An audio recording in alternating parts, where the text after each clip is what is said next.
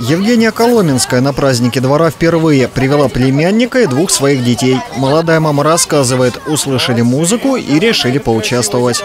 Очень приятно, что уделяют деткам нашим время, внимание.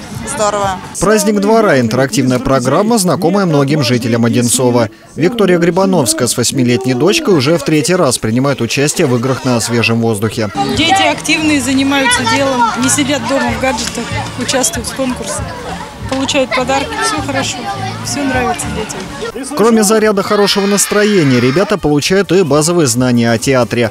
На полтора часа дети стали настоящими артистами спектакля «Бременские музыканты 2.0». Знакомятся с тем, как театр устроен, что такое декорации, бутафория, костюмы. Ну и, конечно, пробуют свои силы в актерском мастерстве, пробуют исполнять разные роли и таким образом приобщиться к этому прекрасному искусству, театру. Праздник двора на улице Любы Новоселовой не единственный. Этим летом игровая программа пройдет еще почти в 30 городских дворах. Роман Попов, Станислав Трифонов, телекомпания «Одинцова». Чего большого?